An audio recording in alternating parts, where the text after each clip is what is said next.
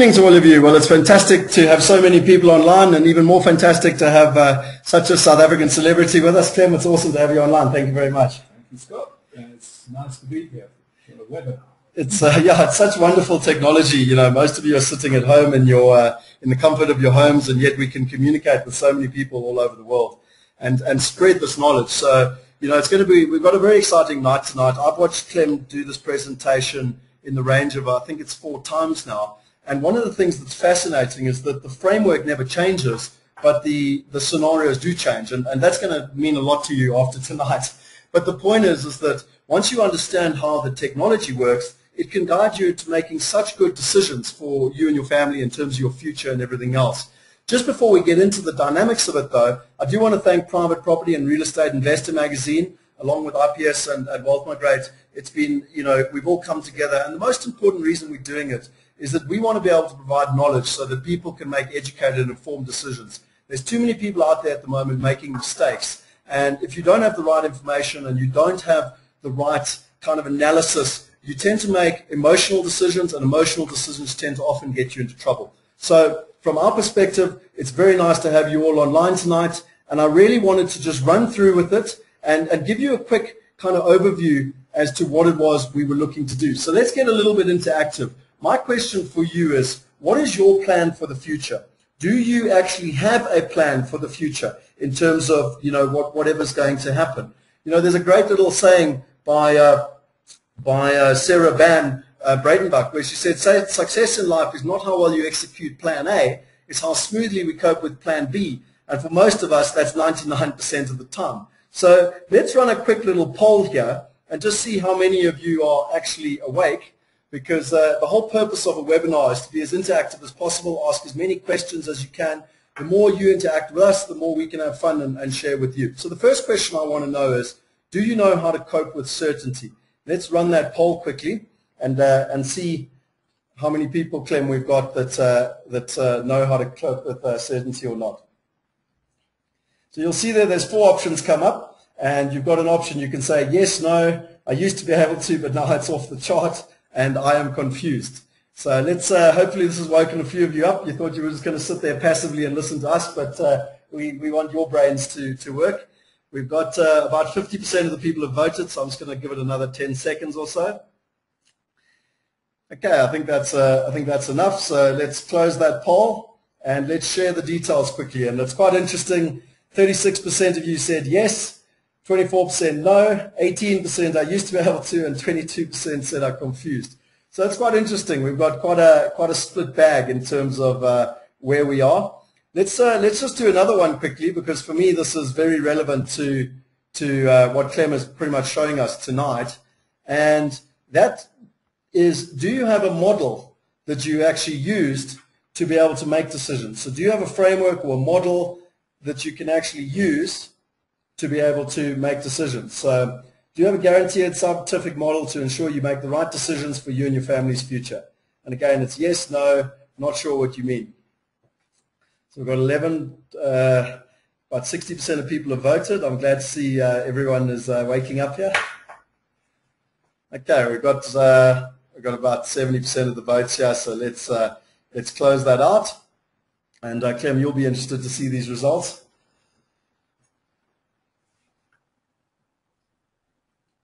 It should be coming up on your screen now. But uh, basically, we've got 75% uh, of people don't have a way to be able to make decisions. So, you know, at the end of the day, 75% don't and 10% are not sure. So that puts us at about 85% of people that are, you know, not, don't, don't have a way to do it, which is why I was so fascinated. I wanted to share with you just two very well-known kind of strategies. One of them is Rich Dad Poor Dad. Most of you have read Rich Dad Poor Dad. And if you actually you know, look at the screen. It should be coming up now. Most of you have looked at the quadrant. And uh, just a quick one there. Um, yep, the screen's coming up now. So most of you, if you've read Rich Dad, Poor Dad, will know the quadrant he's got. It's the employee, the self-employed, the business owner, and the investor. It's pretty self-explanatory. You have a job, you own a job, you own a system, and people work for you, and money works for you. You can get a lot more complicated behind it in terms of there's a, there's a whole lot more, and I'm not going to go into details. The bottom line is 95% of the people in the world are on the left-hand quadrant, and, uh, and only have 5% of the wealth, and 5% are on the right-hand quadrant and have 95% of the wealth. And I think this is such a good analogy to understand what Clem is doing, because at the end of the day, this book was written by Robert Kiyosaki in the 1990s. And even though we've had the global financial crisis and everything else, the bottom line is the framework or the model hasn't changed. It just depends on, on your scenario in terms of where you actually are. The other one that I thought was really useful was Dr. Dolf de Roos. He wrote a book called Real Estate Riches. And he's actually got a piece of software called Reap. Now, for me, Reap is, is also a fantastic piece of software. And I just wanted to share it with you quickly. Uh, now, we don't have time to go into it tonight. But the bottom line is, say for example, you're comparing two properties and you want to pull a report. And if you generate the report, you've got all your financials, it's got a description about the property, and most importantly, it's got the cash flows and right down to, to where, you know, what are the type of returns you're getting, and most importantly, he's actually got an index. So you can compare one property to another. Now, again, the point is, if you've got a system as long as you use the same system, it's easy to compare an apple with an apple. And, you know, this is Dolf de Roos's property system. Um, I've just shown you Robert Kiyosaki's kind of business system. And now it's time to move on to the man of the show, and that, that is Clem, basically. Because for us, in terms of Clem, over the last kind of three or four years, I've been watching the, these presentations and understanding how to actually do it. And before I share with you, I want to, I want to just run one last poll before we get uh, Clem involved. And I want to ask you, before he shares with us his technology and his, and his system, how many of you actually have a plan in place no matter what happens? So whether the global economy goes up, whether the global economy goes down, whether the banks go up, whether we have a double dip scenario, if we have an economic recovery, if South Africa goes well, if South Africa goes badly, you know, at the end of the day, how many of you have a plan, basically? And I can see there that uh, we've got about 34% of people have voted. Let's get a few more people. You are going to uh, have to interact lots tonight. We've got lots of interactive polls to, to keep you up to date in terms of where you actually are. So let's close that one up. We've got about, again, 70% of people have voted. And if I just share that with you, you'll see that, Clem, 33% of people online tonight actually have a plan. 46% don't.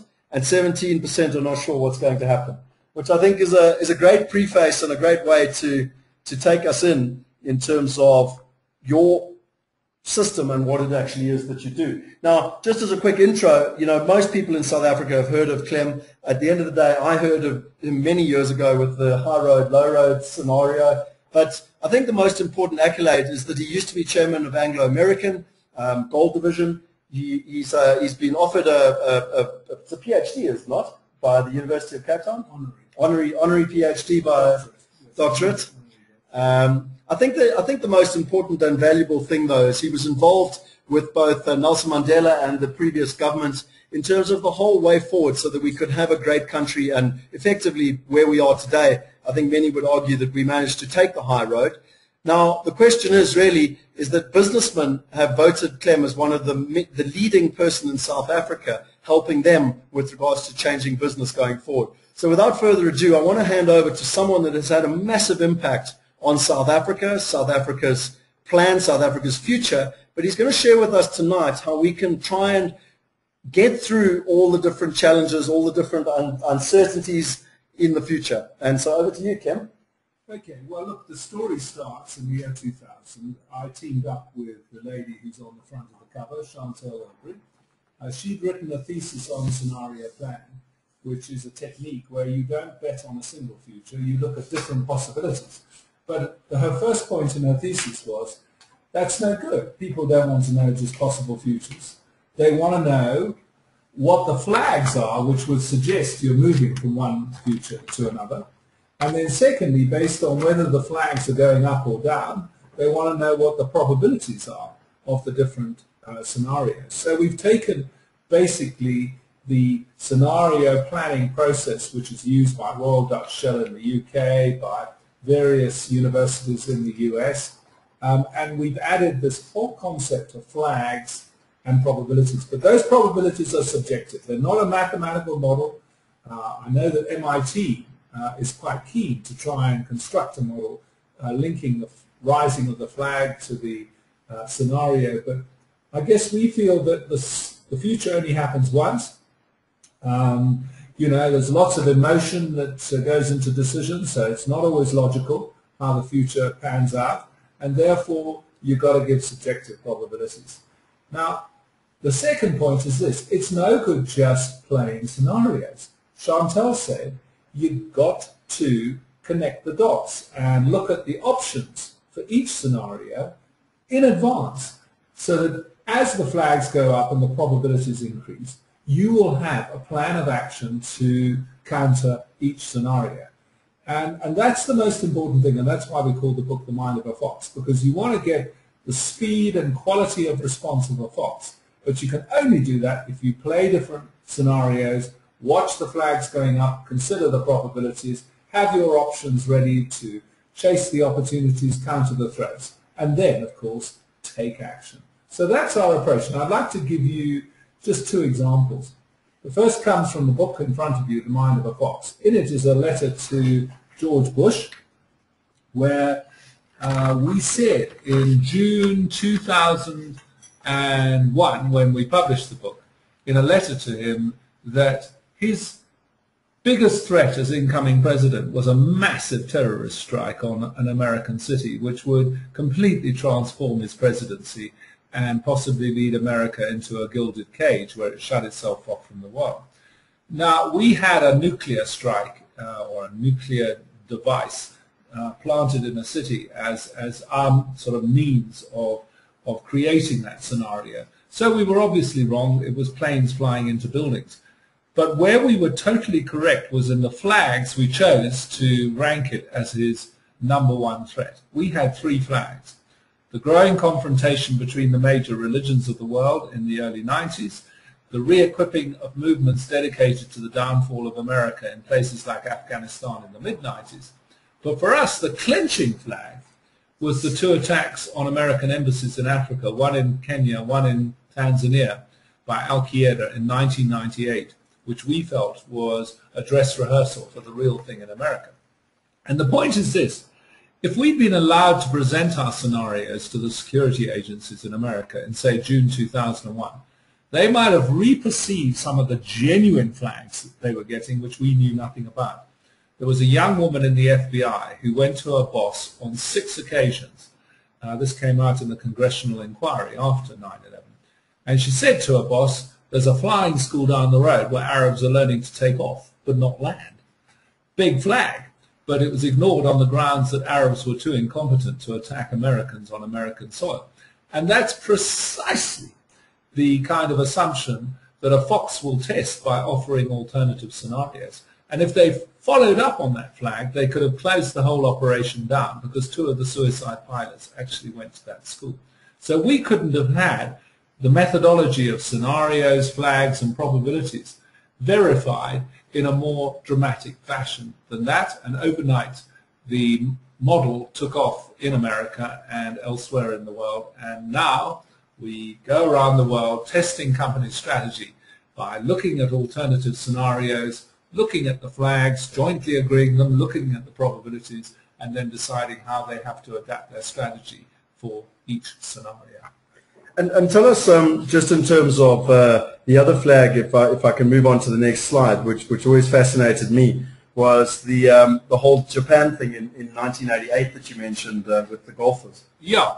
Um, we had a scenario meeting uh, in September 1988. This was my company that I worked for at the time, Anglo American, having its annual scenario session. And we had the best futurist in the world who happened to be head of the function at Royal Dutch Shell.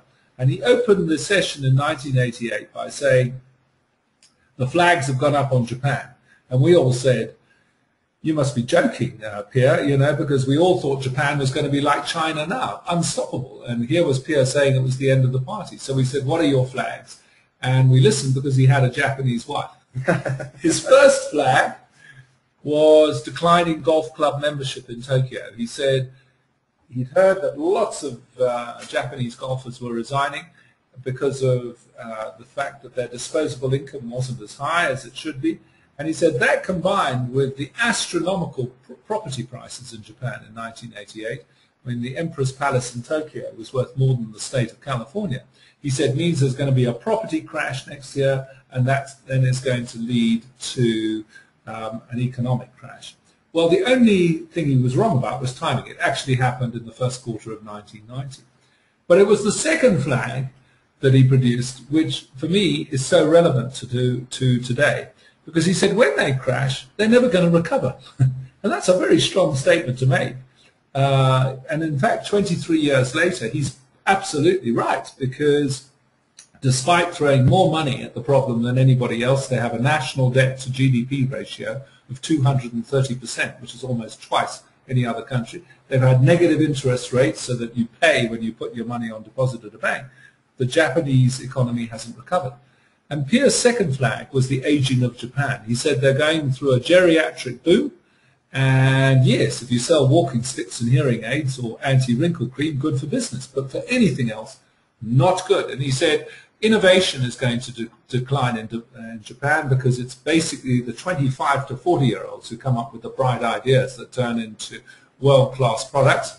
And he said uh, that's not going to happen anymore in Japan. And he was right because they produce the Sony Walkman, they produce zero defect cars, they produce computer games.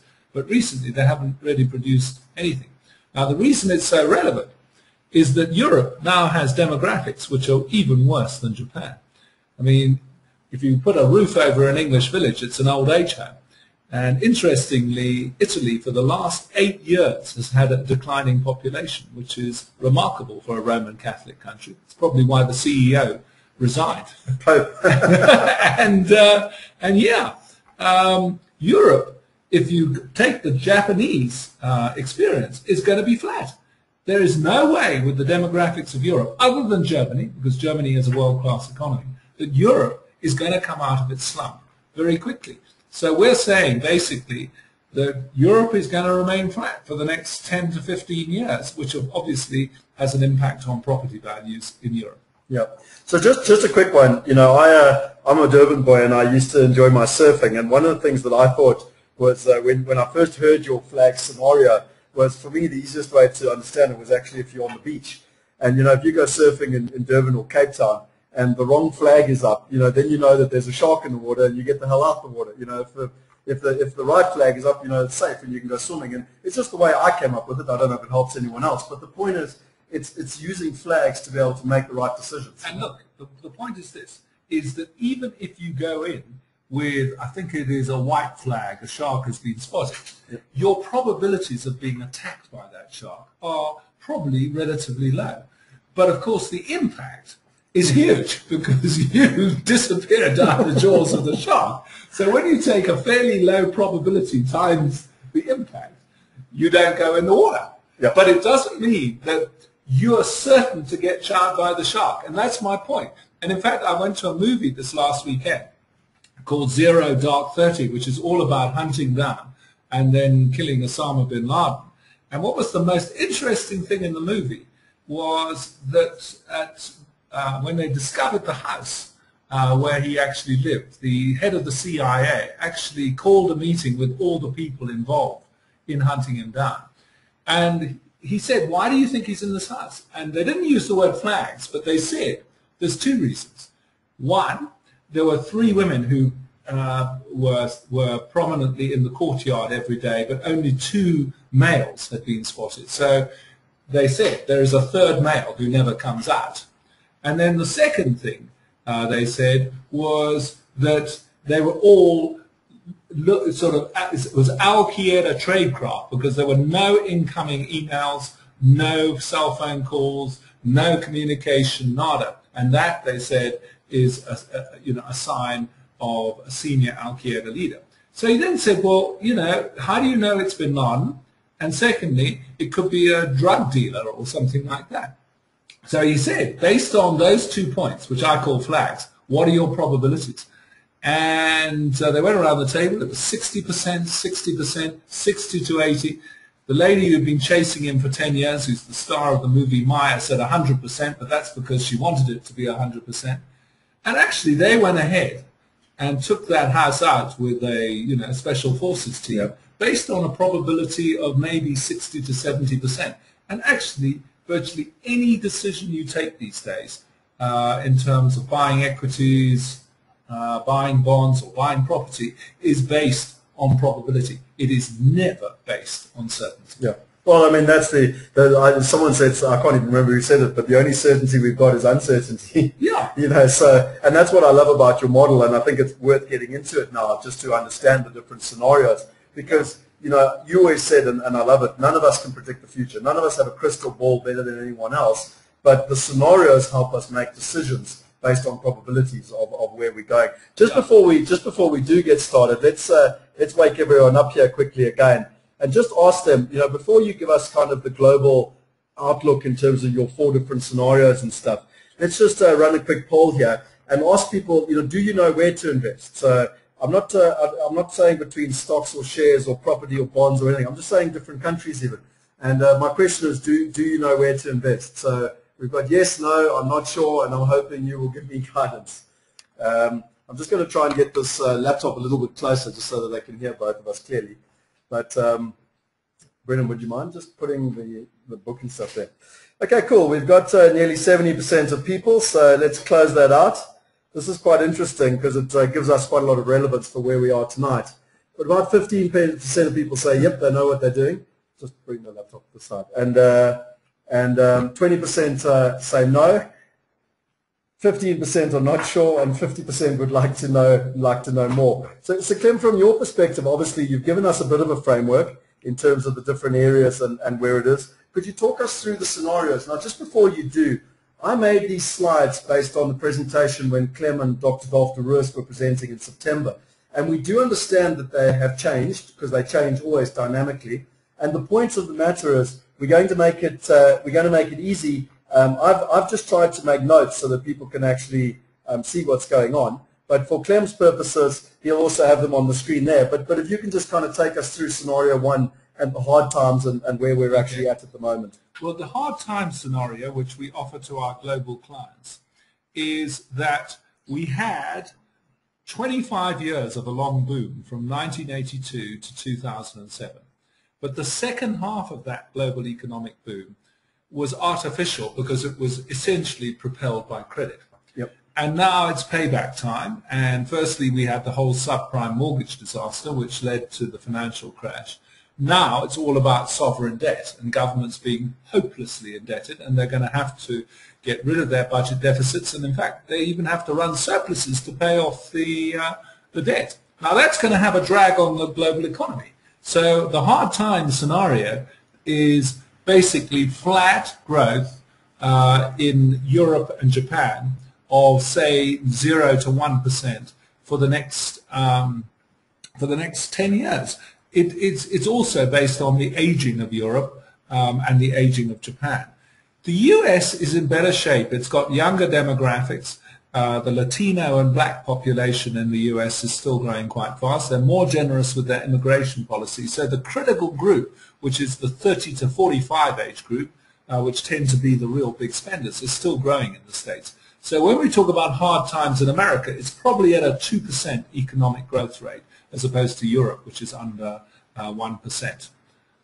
Okay. And yeah, that's, that's the scenario.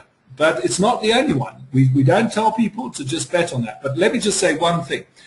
When we talk to companies, we say what your strategy is in hard times, because essentially unlike the long boom when you could just you know grow your sales fairly quickly uh, because the markets were expanding. Now you have to take market share from somebody else. Yep. So you've either got to offer value for money, which means you've got to have a strong brand like Apple, and then you can sell the uh, you know the iPhone 5, or you've got to be the cheaper alternative. In other words, you've got to be cheap. Like in South Africa, Mr. Price is cheap, but it's had fantastic sales growth over the last few years because people don't go to the Golf Pro to buy their golf shirts anymore. They go to Mr. Price yep, yep. for a third of the price. So essentially, the strategy for companies in hard times is value for money, keep your brand strong, strong, strong, strong. It's uh, the cheaper alternative. Service excellence becomes absolutely vital in that scenario. And then, of course, innovation trying to create completely new markets with completely new products. And just as a matter of interest, before I um, move over in terms of to scenario two, what probabilities do you put us at in terms of scenario one? Scenario one, at the moment, we give a 40% probability to. It's our favorite scenario, but only just from uh, the second scenario, which is also a mainframe scenario. Um, it's like two horses. You know, they're side by side. We put the uh, the first one ahead of the second, and I'll tell you the reason why. But let's just go through the second scenario.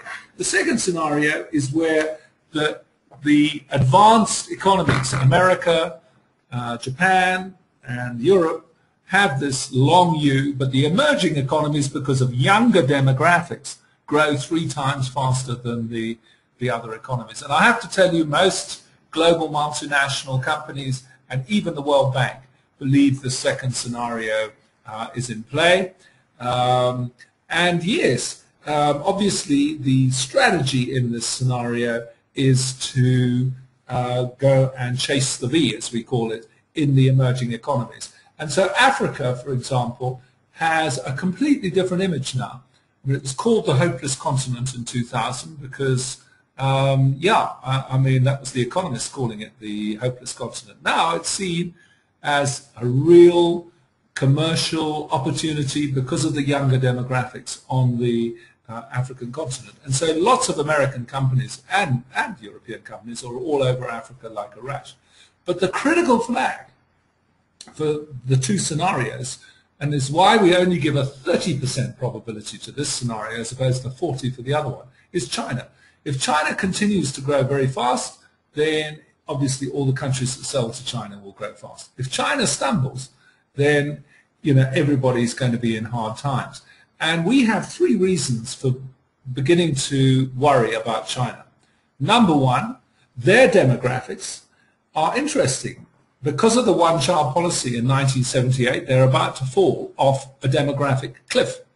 Uh, not only at the moment do they have gender imbalance, there are 54 males to every 46 females in China, but the second thing is this, is that the workforce is beginning to decline because the, you know, the, the old people are beginning to start outnumbering uh, the young people. And it's going to get worse and worse. And China doesn't have a system for handling old people as in terms of pensions and retirement funds and all that. And it's going to become a huge problem. So that's one of our flags. It's a long-term flag. The second one is exporting into a flat Europe isn't good for China's growth prospects. And the third is what we said about Japan, which is that there's a lot of empty property in cities outside of Beijing and Shanghai where municipalities have borrowed money from banks. They've built entire suburbs of flats and hospitals and schools. And people aren't moving into those suburbs like they used to, which puts a huge pressure on the municipalities repaying the banks. So you could see a banking crisis in China in the next two years. So we're saying you know, you've got those two favorite scenarios with China. You've got to watch China all the time as a flag, watch its GDP growth, watch this whole question of the banks, watch obviously its demographics, which you can get, get on the internet. And right now we put hard times for everybody as our favorite scenario at 40 with the two-speed world at 30 over the next five years. But of course, what we say to companies is do both offer value for money if it's hard times, chase the V if it's UV. You can do both at the same time. Yeah, yeah. And in terms of uh, scenario three, uh, the new balls, please. This is where, you know, we're all wrong. Um, in fact, most analysts are wrong. And Ben Bernanke, uh, the U.S. Um, uh, head of the, Re the Reserve Bank, uh, is right. And uh, the cheap money policy in the U.S. pays off. It goes into a full recovery mode and that drags the whole world up with it. But of course, it, it's it, the, the biggest thing is that with 7 billion people in the world uh, and a full recovery, resources are going to become very, very scarce, and therefore resource prices could rise dramatically. In fact, in the mining game, which I've been in, most of the easy to find, easy to treat, easy to recover resources have been found, mined, and treated. Now we're into the difficult stuff, just when the population of the world is 7 billion. And yes, you've got things like fracking, which carry huge uh, environmental risks and, and seismic activity has been discovered in the States with fracking.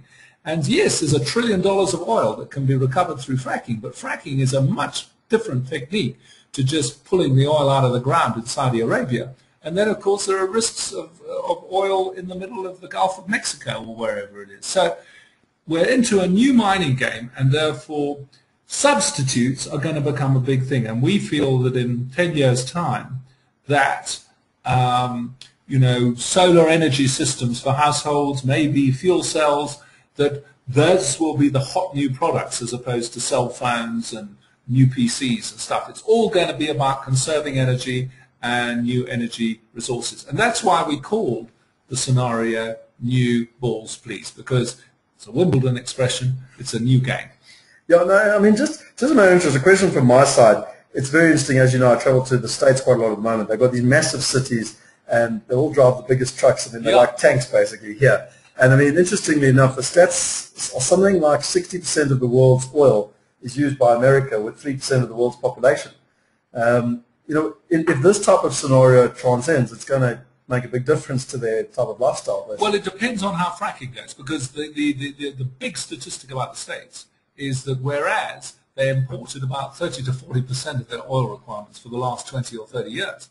You know, the, the latest forecast is they're going to be self-sufficient in two years' time because of fracking. Okay. So essentially, it's it's whether fracking really works and whether you know it's um, yeah it's it it it, uh, it continues to expand and the environmental risks have been exaggerated. If that's the case, then the states is fine. But if, um, if, if there are environmental risks and they're discovered, then the states is going to be here like anybody else. They're going to have to cut back on the size of their engines, of their cars, or drive more fuel-efficient cars. They're going to have to cut back. Why? Because of the price. Yeah. And it means that a whole bunch of things are going to change in New Balls Please. You're going to have, you know, uh, people going to local shops. They're not going to drive to distant malls because of the um, cost of fuel. Online shopping which has already become a very hot activity, is going to become much more popular because people don't want to drive their cars. They prefer somebody else to deliver to them. So it's got lots of interesting consequences, the uh, New Balls Please scenario. And of course, the other thing is the East will be the economic equivalent of the West. If you take China, uh, Japan, Australia, New Zealand, India, you've got a whole region there which will be equivalent to the US. And so you're going to have a much more balanced global economy. And just my interest, I'm not sure if I didn't hear you, but what is your scenario? What is your probability on Well, the probability scenario? we have at the moment at 10% because we consulted American economists on the flag. And they gave us really two flags. The first is very precise. It's that unemployment in the US falls below 7%. They said that is what really um, creates, uh, you know, new momentum in the U.S. economy? Well, it's 7.9%. So that's why we, we, at the moment, give it only a 10% probability. And then the U.S. has to do something about its debt ratio, which is over 100%. And they've kicked the ball into touch by overcoming the fiscal cliff in January, but they've still got this thing where automatic cuts will come in, I think, at the end of March if they don't come to an agreement between President Obama and Congress, these automatic cuts will come in, and apparently that will turn the U.S. into recession again. So that is a big flag to watch for at the end of March, because you, we, you know the U.S. has to have a long-term plan to drop its debt, which is at the moment sitting at 17 trillion dollars. It's 17 now. Yeah. it was 15 last time we did the presentation. so, and uh, and then lastly, the last scenario is obviously the fork lightning. Yeah, this is the one that this is the one that keeps people awake at night. This is where the next uh, crash is going to be even bigger than the one in 2008, um, and you know it's like 1929. Everybody talks about the 1929 crash, but it didn't. It went down in 29. It recovered in 30 and 31. I'm talking about the U.S. stock market and then in 32, it really tanked. It went down to 11% of its peak value in 1929. So the equivalent today, and people um, out there on the, on the web are going to sort of go, whew, uh, it would be that the Dow goes from its current level of 14,000 down to 1,500. People lose about 90% of their wealth in the United States. Now, obviously, we asked American fund managers, is this a feasible scenario? And if it is, what are the flags? And they said, absolutely. That's why we use derivatives to try and take the impact of this scenario out of play to protect our portfolios. And they gave me two flags. The first is the US uh, bond rate. If people start losing faith in, in, the, in the US and you see the 10-year bond go from its current level of about 1.8, 1.9% up to 4 to 5%, then there are problems in America because it means their interest bill, the government's interest bill, is just going to displace so much other expenditure. But the critical one uh, that everybody agrees in is that a default by Italy or Spain. Because just to put this in perspective, Italy owes uh, on its national debt 1.9 trillion euro and Spain is around a trillion. So that's almost 3 trillion euro, which is over 3 trillion dollars. What precipitated the subprime mortgage disaster was around 300 billion dollars of subprime mortgages. So it's 10 times. So, so it's, yeah, it's 10 times. And so I had a meeting with European banks uh, in the middle of last year where I played this scenario and I said, is it true? And they said, absolutely. And that's why the European Central Bank has stepped in uh, and said, well, we'll buy bonds issued by Italy or Spain to keep the interest rate down. Because the critical flag when you, when you dig deeper is whether the Italian or Spanish 10-year bond rate goes through 10%. Not, not 10%, uh, bond rate goes through 7%. So if the interest rate goes through 7%, which it, which it did at times last year, then you're in a default situation because it means your interest payment is as much as the capital value of the bond over that 10 years.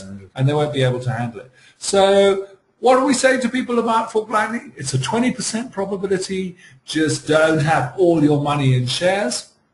Um, keep yourself diversified.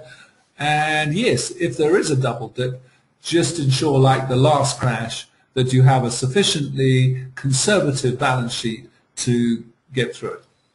I mean, you, you, you, said something last time I heard you, which I thought was quite funny. You said go indoors and just try and survive. Basically. Well, it is like, because that's what you do when you have fork lightning. Yeah. just, just a question from Sean O'Leary here. He said, uh, what about the UAE market, specifically Dubai? You know, how, how does this get impacted in terms of these different uh, scenarios and different areas? Well, the UAE, you know, it's it's uh, in, in in obviously the fork lightning scenario, everything suffers for a short time, yep. which will include uh, the UAE. Um, for, for, for, for the new balls, please, UAE will, will, will, will do very well. It's, it's everybody will be lifted. Um, hard times, the UAE is definitely uh, better off um, than, than Europe because it also has better demographics uh, than Europe. And then, uh, you know, ultraviolet, where you know, the emerging world continues to grow fast. A lot of the contracts the UAE has is with, with the emerging world. Yep, yep. So they, they should actually be part of the V rather than the U in ultraviolet. Okay. So, I mean, that's um, in terms of the, the scenarios. Now, what, what I did, and I shared this with Clem in September when, uh, when we discussed it, was basically from my side, I, I heard this presentation um, four, four times, as I mentioned. So what I did is I, I went and I said, okay, well, these were the probabilities. Now, let's just check if these probabilities are right, because this is what it was in September. So hard times we had at 40, yeah. ultraviolet we had at 30, new balls we had at 10, and fork lightning at 20. Yeah, we still got that um, at that rate, yes. Okay. So, so what was what was quite interesting then is I went and I said, look, as a you know, it's all good and well to, to hear the theory and everything, but how do we actually turn that into practice? And how do we, you know, decide between countries in terms of because obviously different scenarios will favor different countries.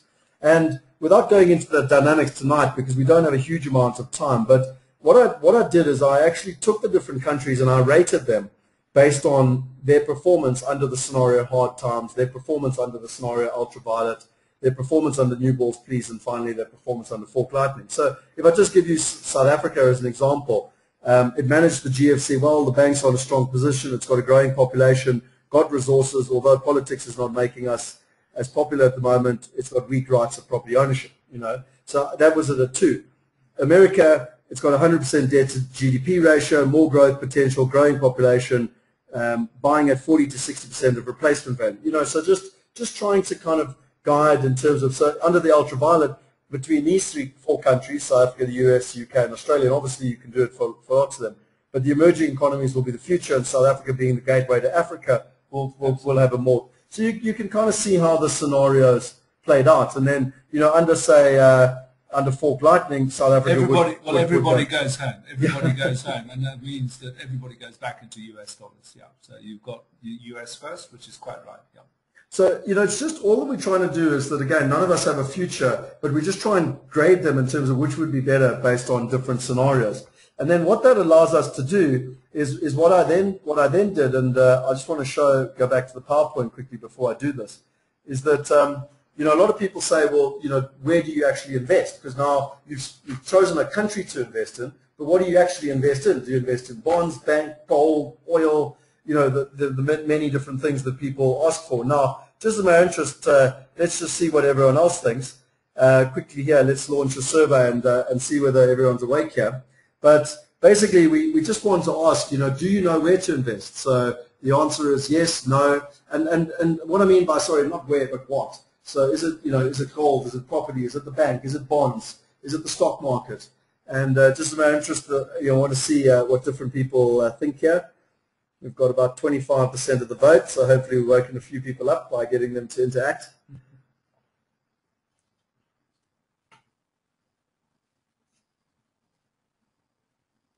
Okay, so we're up to nearly 70 there, so let's close that out and let's share that quickly. And quite interesting enough, we've got 36% say yes, 23% say no, 14% say not sure based on what they've just heard. Uh, 3% say they didn't, they didn't know what they needed to know, now they're more confused. And uh, 23% uh, said, please make this confusion easier to understand. So I, I actually just wanted to share with you some research, which is actually from Barclays Capital. And interestingly enough, Barclays Capital over the last 10 years looked at their high net worth individuals and looked at the return on their on the assets across all asset classes from 2000 to 2010. So that included a stock market boom and bust, and it also included a property market boom and bust. And it was quite interesting. Across 10 years in the UK, the stock market was minus 14%. The listed sector was 8 to 9. Gold was at 323. It was actually the top performing um, asset class. Oil was the second. Fine wine was the uh, was the third, and property was the fourth. Now, for those of you who understand property, that was also ungeared property. It was a cash-on-cash return versus a geared return.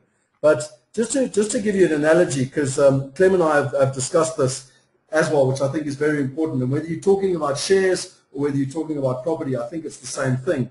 And, you know, I don't know, uh, Clem, if you wanted to share your experience of the London property, but the, the most important one was actually what you said about the last hundred years with regards to the stock exchange. Okay. Well, well, well, well, let me just firstly, before we you know, my dad, who was a stockbroker in London, you know, basically said to me, you know, you don't know what's going to happen in the market, so why don't you do what I do, which is I put a third of my money into equities, a third into property, and I put a third into bonds and cash. He said, so that whatever happens, you know, I'm diversified between those critical categories.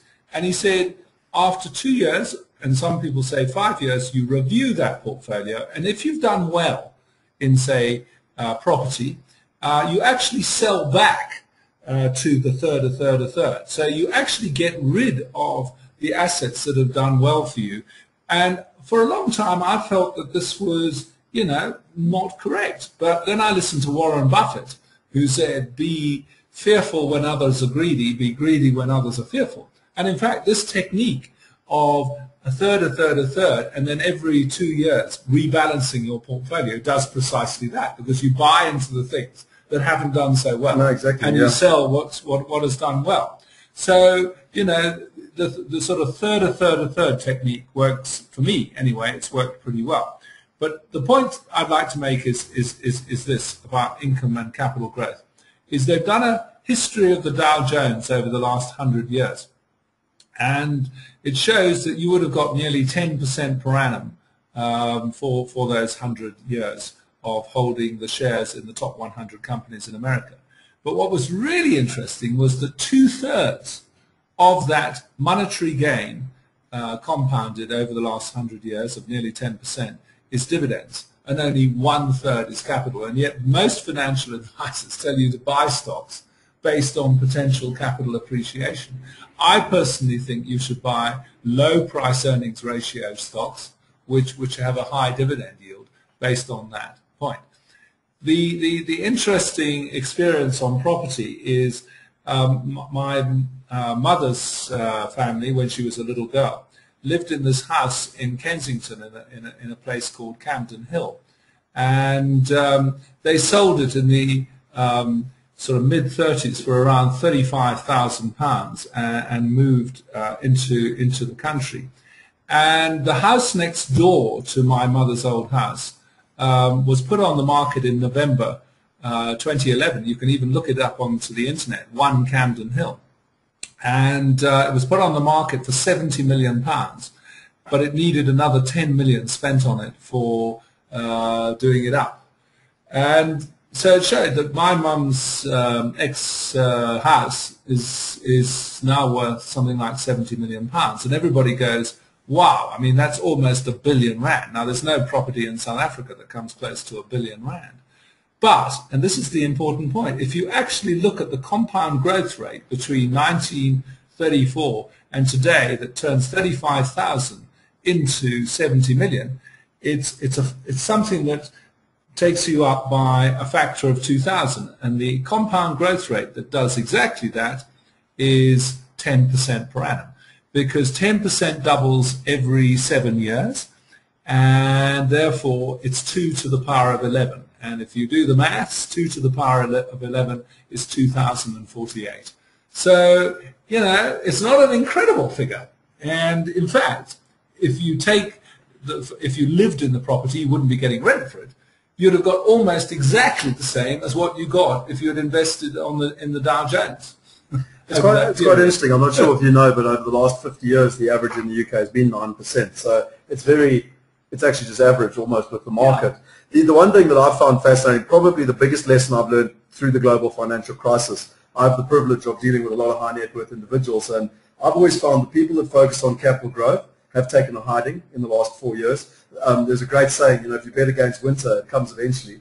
And, and those that are focused on income have not only got have not only survived the last four years, but they've actually got stronger because they can rely on that income. You know, whereas capital growth is kind of a live, hope, and a prayer. You know. Well, the point is this, and you'll be coming to this in your model, is that the the the, the, the, capital appreciation is all very well, but you've got to look at what is value, and what is value is a low price earnings ratio. So it's not those sexy stocks, high tech stocks that are on a PE of 50.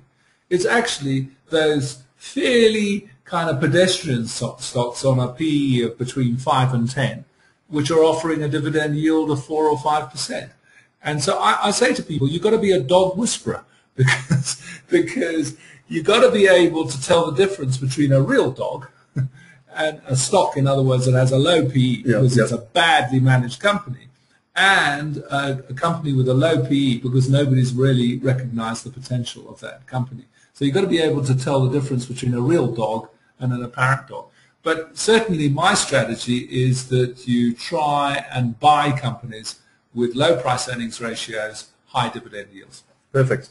And I mean, look, at, uh, you know, whether it's the stock market or the property market, that, that philosophy is actually is very similar in terms of, you know, I, I find it pretty interesting. 49% of the world's wealth is actually held in property um, in terms of where you are. So if I, if I just go back to that, uh, that probability calculator, which was where we were looking there. If I, if I open this up, you'll actually see here in terms of a graph, and again, for those of you who are interested, I can, uh, I can go into more detail here.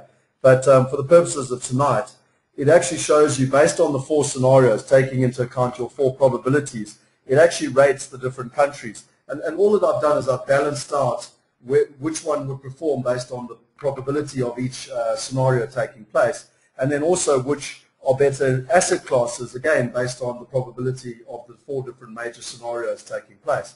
And for me, you know, the, this is just a guideline. It's a framework upon which, you know, one can, can make one's own decisions. Now, before we get on to South Africa and your probabilities with South Africa, I just wanted to give people a quick overview of, of some different countries. Um, so the, the USA, for me, is, is one of the most interesting ones. at the end of the day, we all know that they started the subprime crisis. The whole, the whole thing behind the global financial crisis was effectively the reset mortgages, which you can see here in purple. And what actually happened here is they had finance on two and three year fixes. They had ridiculous things like ninja loans, which stands for no income, no job, no asset. And they were literally lending to people that shouldn't have been able to get finance. Reckless lending. A couple of people in America told me, you know, the, the way you got a mortgage was you literally breathed in the mirror, and as long as you had uh, a breath on the mirror, then they would give you finance. And what actually happened, this, this graph's a bit out of date, but what happened is these reset mortgages came to terms because they were on low rates of 2 3%, and when they came to the end of their three-year term, they jumped up to 7 or 8, and they couldn't literally um, comply with the mortgage, and that's when the likes of Lehman Brothers and, and the rest got themselves into trouble because the asset values were going down the other side. The other problem was they had a massive oversupply in America. They, they reckon in the region that they had this growth and then they had this big drop and they had a, basically an oversupply of around 10 million homes. And for about six years, the property market has literally bumped along the bottom. It's been uh, uh absorbing that inventory. But most importantly, depending on some areas like Vegas lost, as Vegas and Florida lost as much as 70%. Across the whole country, you're looking at a, at a price decrease of about 40 to 50%. And something that I find very interesting in terms of what we've discussed is coming back to, to the value of property based on the income potential. So, you know, um, Clem's just spoken about PE ratios. PE ratios or income yields are the same thing. You know, the value of a share, the value of a house should, you know, should be based, or the value of property should be based on the income. And you can actually see this dark blue line and how it got so out of control in the, in the mid-2000s. And now with the crash, it's come back into equilibrium with regards to the long-term trend in terms of the income potential. The UK is, is slightly different. The UK in London in particular, they lost about 15% when the global financial crisis came. The difference there was that supply and demand was in kilter, and within less than 12 months, the market actually recovered by 17%. The major thing that's happened in the UK is that interest rates are so low at the moment that very few sellers have to sell. I've got a five-bedroom house in Wimbledon as an example where my mortgage is £270,000 but my interest payment is 26 pounds a month. It's ridiculous. And so, you know, I could be on the dole and, and I wouldn't be forced to sell. By the same token, the buyers are really battling to get finance. They reckon the average age of a first-time homeowner in England will be 44 now in terms of people. So you can actually see from this graph, the average transaction for the last 10 years used to be around 10, uh, 10 100,000 properties a month, and now it's sitting somewhere between kind of 40, 50,000. So, you know, although it's slightly improved, it's still a long way from where it's going. And the most important thing in England that concerns me is that the price is back to full value and yet the risk is, is still there. And you can see here in terms of the trend and the difference between London in terms of the different areas, but you can see how the market dipped through 2009 and then in terms of growth has actually has actually grown from, from there in terms of where we are. Then you've basically got Australia. What's happening there? Now, interesting enough with Australia, Australia never went into recession. In fact, their, uh, their economy actually grew in 2009. It was the only economy in the G20 to not go into recession. And the reason being is that they moved incredibly quickly. They dropped their interest rates from 8.75 to 3%, which was effectively 65%. Now, what impact would it have had in South Africa if we dropped from, you know, literally 15.5%, which is where we were, to 5% in the space of four months, which is what they did. They also brought in a first-time homeowners allowance. And because of that, the market actually grew by 8.6% in 2009. It then, uh, it, then it, it, actually grew quite steadily right through 2010. And then the, the, the Reserve Bank there was worried about inflationary pressure. And so they put up interest rate eight times over the, over the period of halfway through 2010 to 2011. And you can actually see here in terms of the graph after 2009 and then slowly easing off in terms of the growth because in any high rise, any rising interest rate market, the, the growth tends to slow and the rental yields tend to return. And then there's a breakdown between the different cities and the, the, the progress between them. At the end of the day, the capital cities of, of Sydney and uh, Brisbane have been the leaders with, uh, interestingly enough, um, Adelaide and, and oh, sorry, Melbourne and Perth uh, being the, the two. Now, I know, I know uh, Clem, you've got uh, something to say with Perth in terms of the mining and just you know the concern in terms of how fluctuant uh, that market is. Yeah, well, the point is, it's in hard times. Um, the the mining company is going to have a tough time because they're, they're, as I said earlier on, they're dealing in much more complex deposits, which are going to raise costs per unit of whatever is mined. and they're not going to get a sufficient increase in the price of the uh, metal and, and therefore their margins are going to get squeezed. And you can see with the major write-offs that uh, we've had in the last few weeks. I mean, my own company, Anglo American, uh, has written off uh, $4 billion on its uh, project in Brazil for iron ore. But I mean, Rio Tinto has actually written off $14 billion in terms of projects. So, you know, there is a certain fragility to the Perth economy in hard times. Yeah. So one has to be very careful of, of uh, things that are based on resources. And then South Africa, just to give you an overview, and we're going to go into the probabilities, but uh, just to just to look at the graph, and uh, this is from the ABSA Housing Index, where they break it down into small, medium, and large houses. And you can pretty much see the growth from 2004, and then it falling down in 2009. The smaller houses grew faster than medium to large, and then have actually come back again due to due to financing constraints, etc. The other thing that, that I find very interesting is that this is the real. So back here was the nominal, which is the growth based uh, without inflation. The real is when you actually take into account inflation. And for us, you know, it's pretty important to see that the, the growth, other than the medium houses, has been actually negative, if not kind of fairly neutral for the last couple of years in terms of where we are. Just some interesting uh, stats for us South Africans, which uh, Clem mentioned in England. And if you take the growth in South Africa at about 10% a year, the average house by 2050 will be costing you about 44 million rand. Um, 46 million rand, sorry. So uh, I hope you I hope you prepared for your children to be able to buy their average house at uh, at 46 million. Two other two other things that are very important with South Africa is the long-term trend in terms of the rand and, and what's happened with the rand. I actually tracked it the, as far back as stats would go for Australia and for South Africa. If you'd invested the exact same amount of money in Australia or in South Africa from 1978, today you would be 350% better off if you'd invested in Australia rather than South Africa. Now, we all know that we've had the highs and lows in both markets. This takes into account the, the property growth, inflation, and the exchange rate. But it just shows you the impact long-term of, of that the exchange rate can have in terms of your assets that you purchase. And, you know, for those of you who are interested, we did a webinar last, uh, last month actually with James Painter. He's an expert on the RAND and kind of forecasting the RAND. He's had an 81% uh, accuracy over the last uh, eight years. And, it, you know, I'm not going to go into details tonight, but one of the concerning things is that he gives a 90% probability, which is, again, coming back to your flags, of us being, in terms of the US dollar, being somewhere between 14 and 21 rand to the US dollar over the next uh, couple of years. I don't know what your thoughts are on that, whether you agree or disagree with that. But uh, basically, you know, he believes the trend of the rand kind of devaluing against the hard currency, you know, the first world currencies continuing. Yeah, my, you know, we'll come on to the South African scenarios, but for me, the only scenario in which the rand is going to go to that rate uh, would be a failed state, and we don't put a 90% probability yeah. on a failed state. We uh, we put a much much lower probability on that.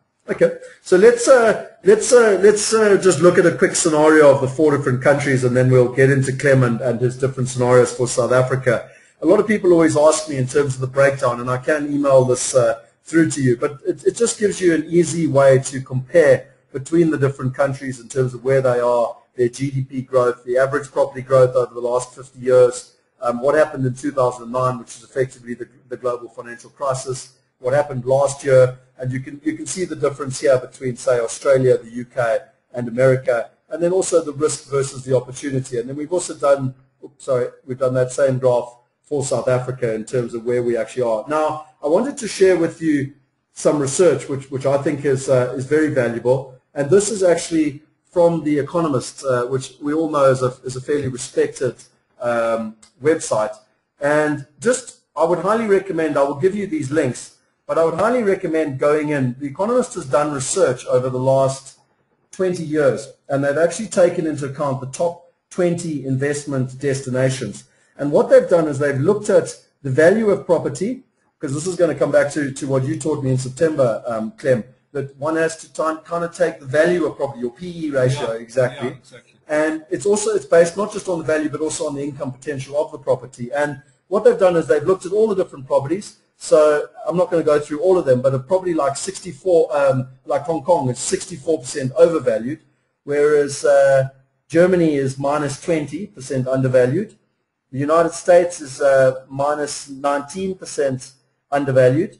France is 43% overvalued. South Africa is sitting in about equilibrium, you know, currently about 2% according to them overvalued. But this is a this is a great website. It's on the Economist's uh, on the Economist website. And the other one that I would highly recommend is where you go in and they've actually got a dynamic graph that you can change and compare countries. So say, for example, at the moment, I'm comparing Britain and the US, and I'm, I'm, I'm comparing them on the house price index from 1975. You can go down here and you can actually compare them in terms of real prices. You can compare them in terms of average income. So, I mean, if you look at this, it's quite interesting there. You can see the average income, and you can see Britain, which is the darker blue one, versus uh, versus the US, which is the lighter blue one. So this is the value of property based on income. And so technically, American property, according to this, is undervalued based on the long-term income, and the, the British property. Now, the beauty here is that you can just go and overlay South Africa if you want to, and you can exactly see where we sit. You know, South Africa is kind of sitting in neutral. I, I love this because this is the type of research that we can all sit with and make educated and informed decisions, not gut feel in terms of where we are. And as I showed you, there's actually five different um, scenarios or, or, or, I don't know, uh, mathematical examples if you want to. So that, that I think is a very valuable tool and I will send the links out uh, to people so that they can play around with that. But that, that brings us on, Clem, in terms of where we are. And the question that a lot of South Africans sit with is, you know, is local lekker or do I look offshore? And, you know, I'm, I'm, a, I'm a, uh, a Durban boy, so you've got to bear with me on my Afrikaans. But, you know, a lot of the guys say, fair for your goed na and your slaughter which from what I understand is if it's a long way away, you know, be careful, you're going to lose your assets, versus the kind of fear of, you know, what the future of South Africa is. And they kind of caught between a rock and a hard place, you know, because obviously there, there is risk to putting money overseas versus the risk of home. And what I really wanted to ask you was if you could take us through your kind of three major scenarios for South Africa okay. and, and kind of the, the what do you think in terms of our future. Well, Premier League, we chose that name because the world is a very competitive place. I mean, it's not just companies, it's for nations. And if you don't sell the rest of the world something that the rest of the world wants, you're not going to grow your economy. I mean, the National Development Plan here calls for a tripling of our economy by 2030 um, to bring unemployment down to 6%. Well, you can only do that if you're competitive, hence the name of the scenario. And there is a list which is compiled. It's now 59 countries in the world. Um, we are this year number 50, um, and oh, sorry, not this year. In May last year, we're number 50. It's called the World Competitiveness Survey. It comes out of Switzerland from the International Institute for Management Development. And we should be 32 because we're the 32nd largest economy. And the principal reason given is policy uncertainty deterring foreigners from investing in South Africa. If you look at the business day today, that's a big issue still. And, uh, and so we are now in the re relegation zone of the Premier League. So that is the first scenario, that actually we get our act together and we get back into the middle of the Premier League, the, the, the mid-30s, uh, where we rightfully belong. The second scenario we call second divisions. It, it's, it's, it's where we, we don't get our ducks in a row. Uh, we're poor but peaceful. Um, it's disastrous for government because they don't get the tax that they got in the Premier League and they can't raise money overseas just when Eskom needs another 500 billion rand to, uh, to, to actually complete its new power stations. Nigeria will probably overtake us to become South Africa's premier economy, and we might even be kicked out of BRICS and G20. So it's it's a hideous scenario uh, for the government. But you know, um, we we you know we, we can still make money. But there is a third scenario, which is the one that we all fear, where South Africa actually turns into a failed state, and the the principal flag for this is violence. And you've seen it in Afghanistan, you saw it in Libya, you're now seeing it in Syria, Iraq, Somalia. People just turn their back on you. Now, obviously, the violence here is nothing like it is in those countries. So for a long time, we gave a zero probability to this scenario. But we have four subsidiary red flags and one tendency, which is a long-term red flag. Nationalization, um, but I have to say that that's gone off the agenda for the ANC um, at Mangaung, so that flag is down. Clumsy implementation of health uh, insurance, NHI as we call it in South Africa, um, if it leads to the disintegration of private sector hospitals, then people will just up and leave because health and access to decent health care uh, is very, very sort of uh, very much at the top of most people's lists, particularly if they're talented and they have families. That flag is down because the Minister of Health is also conscious of that and so he's negotiating with private sector players uh, to minimize the disruption of the private sector health uh, system. The third flag is why we jump the probability from 0 to 10%. It's a media tribunal with punitive powers, and when the secrecy bill was tabled, we jumped the probability to uh, 10% because it's got some very nasty clauses in it. The tribunal is now a commission. They've taken out some of the worst clauses, but there's still things like a penalty for a journalist going to jail for 25 years if he's in possession of secret information, which we don't know what the definition of a secret is so we're going to wait till this uh, law, this bill is turned into law, and then obviously it will probably be contested in the Constitutional Court. But at the moment, we keep the 10% because of that flag. The last one is the most lethal flag, land grabs, because uh, it could lead uh, to civil war. Um, Zimbabwe, uh, the land invasions just stopped the company growing at all. They had hyperinflation. The same would happen here. And so we're saying to keep that flag down, we need a genuine negotiation between the major farmers, the emerging farmers, and the government. But that flag at the moment is down. We don't have land invasions. The last flag is why we've jumped the probability on failed state even higher, and certainly higher than you, than, than you had, because it's a continuous red flag. We call it a tendency. I did some sessions with foreign embassies in Pretoria at the beginning of the last year, and I said to them, did you see the Arab Spring? And they said, no. So I said, what were the flags you missed? And they gave me three flags. They said abnormally high youth unemployment in all the countries affected by the Arab Spring. Secondly, um, networks, social networks among young people. Thirdly, um, a growing sense of alienation from authority by young people. And we have all three in South Africa. And in retrospect, we're beginning to think that Marikana was the flag because we're seeing a level of anarchy and unrest that has never been around in South Africa before. We saw it in Rustenburg post Marikana and terribly um, it re-emerged last night in Rustenburg. Um, we've seen it in the Western Cape with the agricultural workers. But what a lot of people don't know is that the biggest project in South Africa, it's our, it's our kind of flagship project, which is Medupi, uh, the power station, has, nobody's been on site for a month because people are intimidated uh, by the workers because they feel they've got uh, grievances. And you know, I mean, it's a critical project because we need the power, and nobody's done anything at Medupi uh, for a month. So we have now jumped the probability of the failed state scenario to 25% from 10. 10 is a wild card scenario. Have it on your radar screen, but you don't have to go much further. 25, you have to start thinking about your options. And essentially, we say to people there are two options. Look after yourself, keep your passport up to date. and if you're a business, uh, look at how you can diversify your business um, overseas. Um, and secondly, the second option is help to keep the red flags down. And obviously, we encourage companies to say, what are you going to do to hire young people to try and keep uh, the red flags uh, down? But uh, it, it just shows that um, things can change very quickly, and that's why our flags are quite uh, dynamic, because we were uh, 70, 30, 0, 70 Premier League, 30 Second Division, 0 for, uh, for, for, for failed state just over a year ago. We're now 50, 25, 25. And I must just get on to the flags that differentiate Premier League from Second Division. The first one is having an inclusive leader. Um, you know, it's like soccer.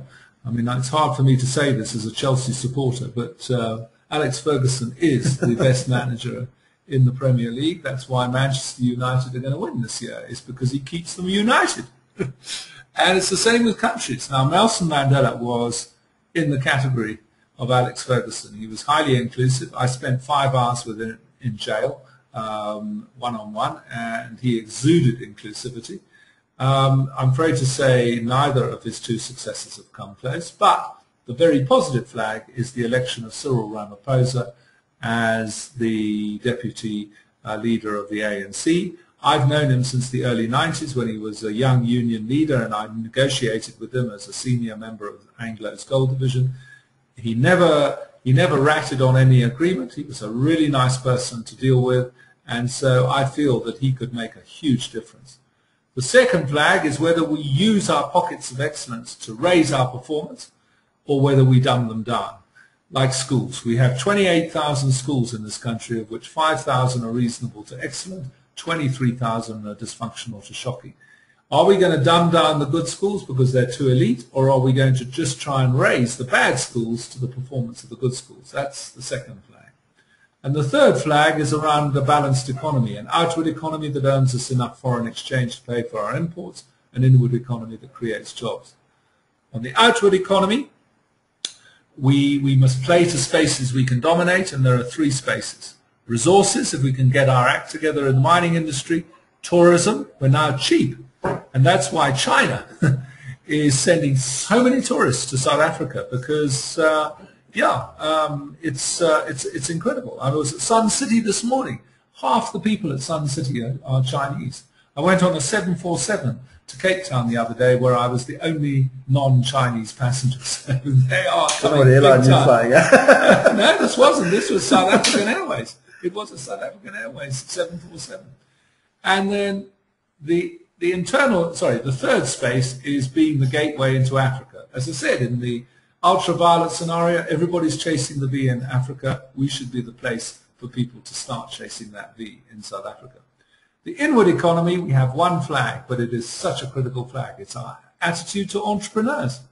You know, China in 1978 was a 100th ranked economy. It's now number two. And I actually did a session in 2006 with the Chinese Communist Party at the Central Party School. And it was interesting. I was shown around the school afterwards because there are very few foreigners actually visit the school. They've taken down all the slogans of Mao Zedong. So despite having his his uh, portrait in Tiananmen Square, he's no longer the spiritual leader of the Communist Party in China. It's Deng Xiaoping. Why? He opened up the economy. As one of the professors said, the Communist Party retreated from the economy, the entrepreneurs moved in, and now we're number two. America has always had this passion for entrepreneurs. Steve Jobs, when he died, got huge encomiums. And the thing about America is that if you take the top 100 companies today, 50, 50 at least of those companies were not in the top 100 50 years ago. And yeah, there's some entrepreneur burrowing away to create the world's biggest company in 30 years' time. In South Africa, we still have a negative attitude to entrepreneurs. There's lots of red tape, there are labor laws, the culture of non-payment uh, of small to small business by big business and government is, is just terrible. Um, and yeah, um, it's difficult to get money as a small business. So as we say, Jacob Zuma has to change his mantra from we're going to create 5 million jobs by 2020 to we've got to create 1 million new businesses uh, by 2020. So yes, um, we feel that we are still in the Premier League. That's why we give it a 50% probability. But we have to now consider how we're going to keep the red flags down. And that's why Cyril Ramaphosa, in the two years that he's got available before he ascends into the leadership of the country, should call for an economic CODESA where we discuss the economy, create a new uh, economic model which has the space for entrepreneurs. He has a foot in business, he has a foot in the union movement, he has a foot in government. He's had all the experience of the political CODESA that we had in the early 90s. He can easily put uh, proper CODESA together to say how do we implement the national development plan in terms of the three trillion that the government wants to spend and how do we create a new generation of entrepreneurs. So yeah, um, I think at the time you had 50, 40, 10 as the probabilities for these scenarios. Yep, yep. We're now 50, 25, 25. And yes, we're at a tipping point, and that's why we need the economic CODESA. And I mean, just, just to just to show you actually in terms of the the because again, this is why it's so important that to keep up to date with with Clem and Chantell and what they're actually doing. So I you can see the scenarios there. I, the last time I heard the presentation, as you said, it was 50, 40, 10. So as you said, the failed state was kind of a um, what was the exact word you used? It, uh, a wild card. A wild card, yeah. yeah. Whereas 25%, you know, one in four, you know, if you have 25% chance of, uh, I don't well, know. We, looked, we, we, we had the shark flag. Yeah, exactly. You wouldn't go in the water with yeah. a one in four chance of being charged.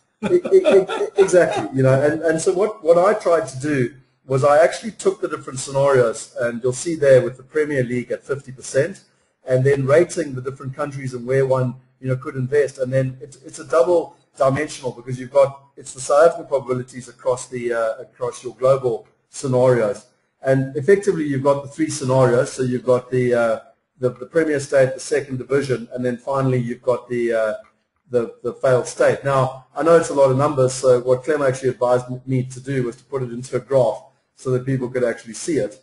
And the most important thing was that, and this was interestingly enough, even at 50, 40, 10, um, it ranked where, in terms of the, the investment, a, a, basis between local and offshore investment. So at 50, 40, 10, we had a, a 70% local investment, 30% offshore. At uh, with with your scenarios, because what you said in September to me was actually if you've got 50% Premier League, 40% um, second division, and 10% failed state, that's 50-50. So you would actually balance between 50% local investment versus 50% offshore. Yeah. And if we went to failed state, you know, I still know plenty of people in Zim, as an example, that have made good money. So I'm not necessarily yeah. taking all your yeah, money yeah, out, no, but it would be the balance between the two. And, I, I and, and that's where I then balanced it. Now, again, based on your scenarios tonight, I can go in and change the probabilities, but it just gives people an analysis of where it's better to invest. You know, as an example, failed state over here, you know, obviously it's, South Africa is now coming in. Well, it's a no-brainer because the currency will go to 14 to 20 to the dollar. And therefore, you know, if you want to be invested in property, you probably should go to the United States and buy property in the US because you're going to get both the fact that property in the US has been so much at a discount uh, for so long, plus the dollar is going to appreciate against the rand. So it's a no-brainer to, to, to invest in property offshore as opposed to property here. Uh, but as I said, it's 25%. Um, and obviously, you've got to watch the red flags. If, if, if, if there's a rising degree of anarchy in South Africa, and we up the failed state to 30 or 40 percent, then you've obviously got to seriously diversify your assets. You know, in terms of the three categories: cash, property, and equities. But all three have to be uh, diversified around the world. And I think the most important point tonight is that we're trying to show people your technology, and then they've got to stay up to date. You know, we'll give you yeah. you know, we'll give them the details as to how they can how they can follow that. Because for me, the scenarios are, are vital. The last thing that I that I wanted to share, um, I can see that uh, time is tight there, is a is a system that that I built uh, based on um, Clem's probabilities.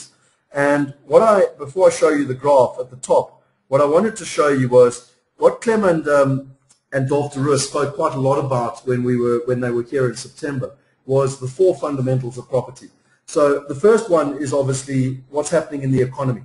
Now this economic risk is now based on the first uh, spreadsheet that we did with the probabilities, it's Clem's scenarios, and you've obviously got to balance the different scenarios in terms of where you are. The value of a property discount... And, and sorry, you must mention is the higher the percentage, the higher the risk. Correct. Yeah. So at at naught percent, obviously there's there's very little risk, and at 100 percent, there's you know the, there's quite a lot of economic risk. Um, the value of the property discount that's obviously in terms of over the last five years, in terms of the property market. So just like Tim spoke about with PE ratios in the stock market, it's the same in property. If, if you're buying property in a country that's had a huge discount in property, well then there's lower risk because it's valued in the kind of the risk in terms of the global economy. If you're buying property that's you know more expensive now than it was four or five years ago, well, you haven't factored in that risk, basically. But, but what you're saying here is that the U.S. property, and then what's the other way around, is at a 50% discount. So in that sense, it should be less risky on the basis that your Warren Buffett would say you should buy into something that's heavily discounted. Well, also, you, you know, to take, you've already mentioned that whole thing, you know, be fearful when others are greedy and greedy when others Yeah, are fearful. exactly. You, you're being contrary to, to, to trends, basically. The third fundamental But approach. sorry, just to repeat your point, is property in Australia and France simply and and and India and China simply hasn't shown a real discount. Not at all. not at all. Well, it's actually grown. I mean, Australia has steadily grown right Yeah. from Yeah, 2008, yeah, yeah, 2009, you know. The, the third fundamental of, of, of property is, is always a combination between population growth and supply and demand. Now, I've worked on a weighting of 60 to 40. Now, for me, they're the two, two of the most important things. You, you spoke about Europe and the fact that Europe, the European population was effectively in decline. You spoke about Japan and the impact that it had on the property market. And then obviously, in, in line with that, you've also got supply and demand. You know, as an example, in Ireland, I don't know if you know this, but one in four homes in Ireland is actually oversupplied. It's literally sitting empty.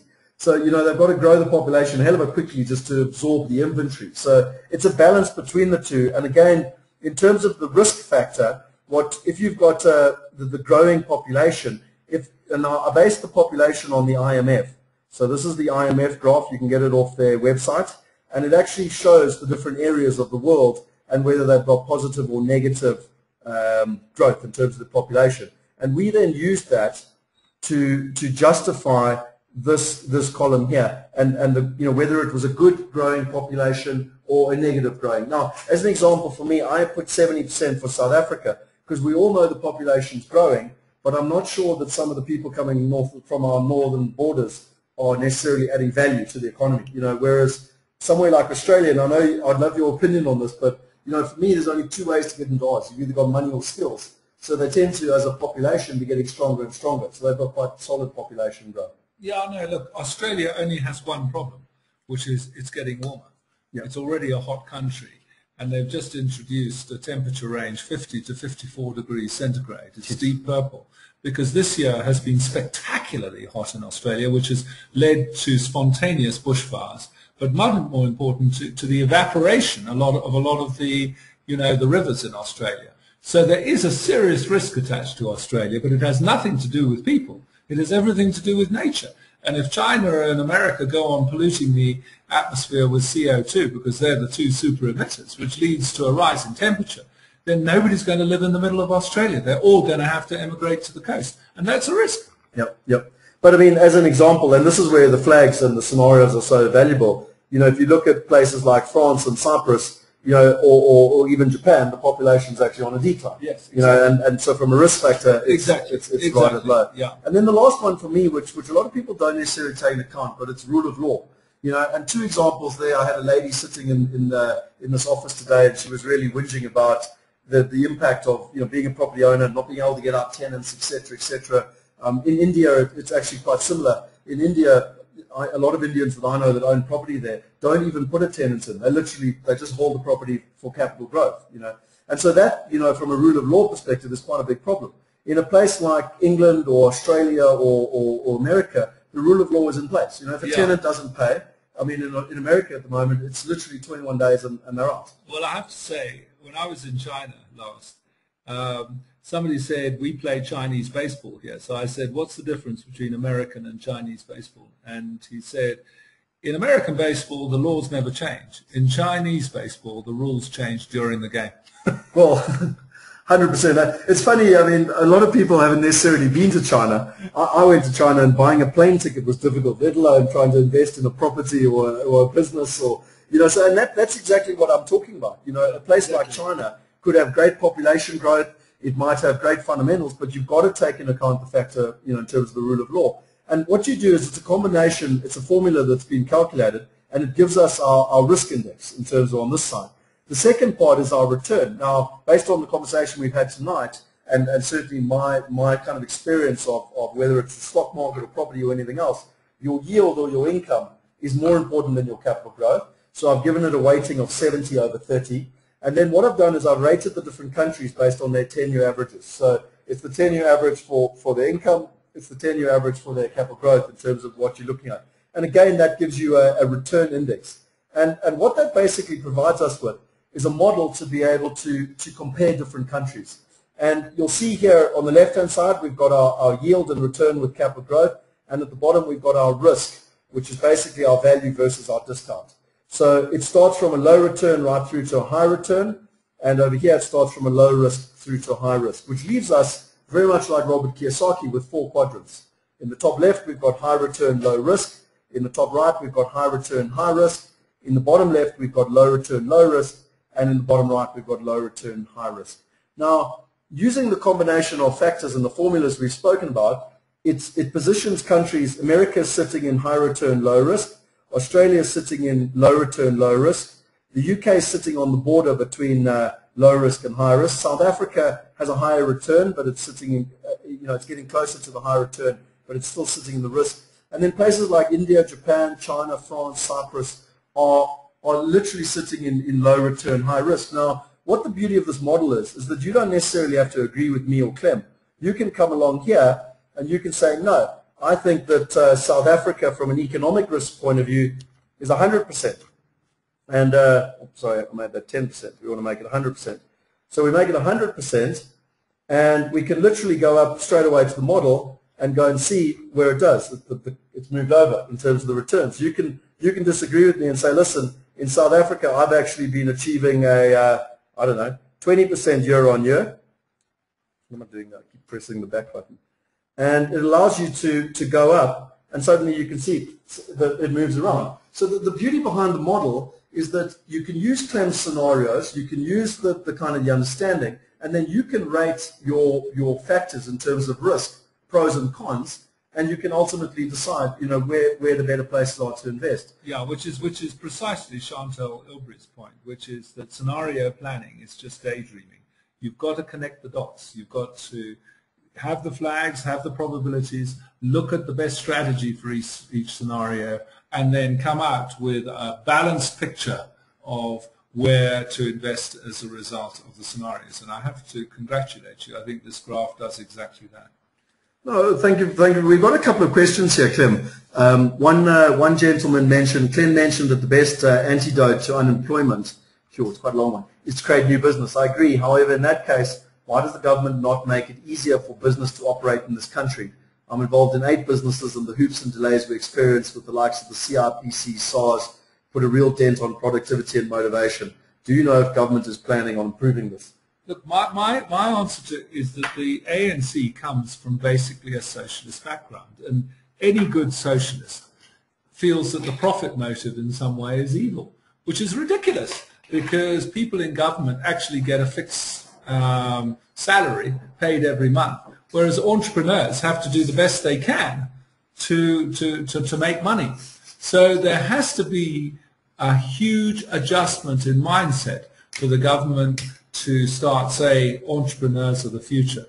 Because at the moment, they condemn people who say that as neoliberals, you know, and, and it's not. It's the fact that big business is never going to provide another 5 million jobs government is never going to hire an extra 5 million civil servants. And public works programs are temporary solutions because when they're over, they're over. And yes, you can transfer skills in public works programs, but nothing else. So, you know, I don't know how we get it across to government that the most important aspect of this economy is to turn the 15 and a half million people on welfare um, at the moment, to turn as many of those into entrepreneurs running small businesses. And if you, if you do 10%, that's one and a half million. And then if they hire one person each, that's three million jobs. That is the realistic way of bringing South Africa's unemployment down. But you have to overcome the government's antagonism towards entrepreneurs and secondly, the union's antagonism towards people who run their own businesses. It's not called decent work. You've got to work for somebody else and you've got to be paid a decent salary for it to be called decent work. The problem is, in today's world, is that, you know, if, if, if you just push decent work, then you are either one or naught because the people who aren't employed at all are at zero and the people with decent work are at one. And what you've got to do is to fill the, the in-between. And the only way you're going to do that is by having a whole bunch of entrepreneurs who are running small businesses that don't necessarily pay as much as big businesses, but at least people are being paid and they're in jobs. There's a there's a there's another question here. Quite a few people have asked about uh, different countries like Germany and Austria. I mean, the whole purpose behind this model, you'll actually see here, there's further countries that we're looking at: Brazil, New Zealand, Canada, Germany. The beauty behind the model is it's a case of just plugging the numbers, and, and one can sit and compare. Look, I don't know about Austria, but I can say that Germany is a world-class economy. You know, I think they're the you know the largest exporter to China in the world. They they make machine tools that everybody wants. They make cars that everybody wants you know, Germany is still a world-class economy based on their education model. They have a dual education model where you have the academic stream and you have the technical uh, stream. You know, we've closed down a lot of our technical colleges, which is ridiculous. You've got to train people to be apprentices. Germany has stuck rigidly to this model, whereas Britain, for example, you know, it turned its grammar schools into secondary moderns and did this and did that. Its manufacturing industry has been hollowed out. So, as I said, the only world-class economy in Europe is Germany. So I do think that Germany probably has much better growth prospects than, than other countries, which one would have to reflect in your graphs if you did a specific analysis of Germany. Yep, no, 100%. There's a question here in terms of, uh, funny enough, which you just mentioned, the UK and they said um, I, they understand from a capital growth perspective, but what are the rental prospects? Um, are they surely not less in the US versus the UK? Would it be better for the UK? To, would it be better to invest in the UK rather than well, the I've, I've recently looked at a flat in London just to see whether it was worth buying a flat in London in Putney uh, or in Fulham. Um, and if you uh, take the value of the properties there which are around 700,000 to 800,000 pounds. And then you work out the net uh, rent that you get because you've got to take off the levy of the flat and other potential costs, you know, averaged out over the years. Um, and then you've got to take out the real estate uh, commission for, for collecting your rent. Um, it comes to 2 to 3%, which for me was interesting because I thought, gosh, it would come to 5 or 6 and make it a lot more profitable than having one's money in the bank. But it's, you know, I'm just talking about the specific properties we looked at. It wasn't as high as, as we thought. I think maybe if you buy in Bath or Bristol or, you know, one of the cities outside where you can get a good property for 250,000, yep. then I think that the yields might be high. But interestingly enough, and, and I've, you know, I've invested in both. So, you know, in London, I'm getting anywhere from kind of four to six percent. You are. You know, um, and even if you go down, to, but let's call it three to six percent. You know, in terms of yeah. what you've just said. In America at the moment, you're getting a net of nine plus. Yeah. You know, it's, it's more than double, definitely. You know what Absolutely. I mean? And, and the rental demand is there to answer um, Leron's because 50% of the population has got, got bad credit now and they can't buy houses and demographically or, or mentally in their heads they've stuffed. they don't want to buy property, so they, yeah. they are the other tenants. I'd like, I'd like to make raise one thing about London in the New Balls Please scenario is that access to work and how much it costs you to go from you, the particular suburb you're choosing to work is going to play a huge uh, role in determining prices of that suburb. Because a lot of people have said that, you know, if you go uh, uh, to places like Battersea and stuff like that, you know, it's actually quite expensive where they're building all these new apartment blocks. It actually works out as quite expensive to to get to the city or something like that. Yep, yep. And you have to take that into account, um, you know, in terms of the rentability of your flat. The beauty of Fulham is that uh, you know you've got a tube station very close and da da da da. So Look, to, to, be honest, Clem, I mean, you mentioned uh, in in September when you're investing in property, you've got to rely on your partners on the ground. And yeah. Know, as an example, I lived in London for nine years. I've got a rule in London of ten minutes. I never buy a property that's further than ten minutes. Yeah. You've got to know that you know it's not a case of flying to London for the weekend and finding a good investment opportunity. You've got to know what you know exactly what you're talking about.